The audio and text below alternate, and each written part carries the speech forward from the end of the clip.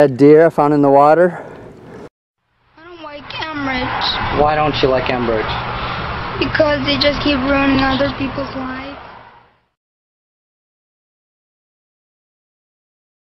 It's just he's a perfectly healthy child and now he's got all these problems after the oil spill. Like they're able to do jumping jacks, they're able to do all these exercises in gym that I'm can't I just can't do because of the oil spill.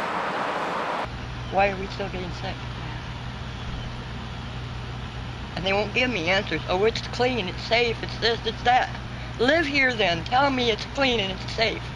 And there's- your, your company says it's not harmful. But yet, like I said, I'm not going to make it to my 50th birthday. I'm 49 years old. Did they ever try to evacuate you? No, they said if I go outdoors to stay out no more than five minutes. And he died of a seizure in the house. Three days before she died from cancer. All right. You know, I got two in one week at Christmas. And did you go to the hospital and your, see your doctor about it? Yeah, And what did your doctor say? she said that's where it came from, the smell. It affected my asthma real bad. And then they had to put me on oxygen. I, my memory is absolutely shot. And you said your lungs are really I, bad? yep, I was just diagnosed with emphysema. They said I had the lungs of an 83 year old man, And you were fine before that? and I was fine before that. And that dog was healthy as a horse until that oil spill.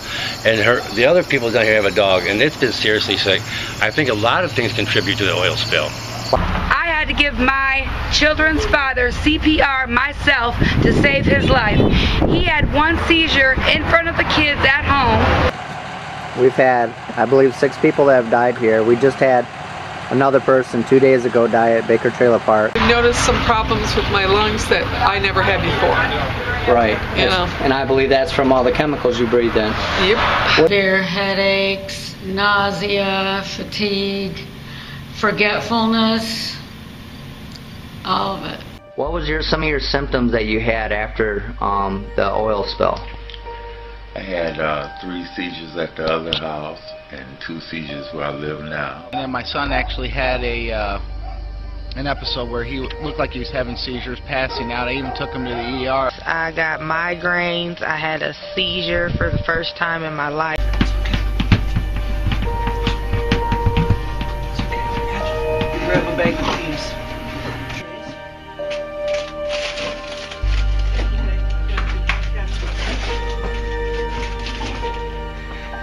This is why we have to stop Enbridge and these oil companies from doing this. They're having seizures and they're, they're getting sick from this tar sand oil. Please help us.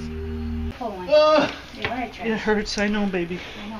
Mama, It's okay, it's okay. help me, Mom. It's okay, it's okay. It's okay. Oh, You're all right. All right. oh, Who am I?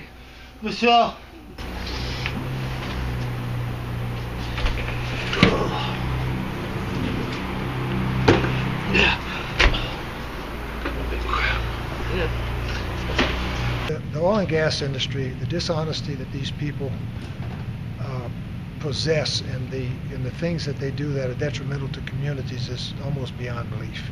And they have no uh, compassion whatsoever. They have no honesty. They have no pride, and they uh, they're worried about the bottom line. The bottom line is the bottom line.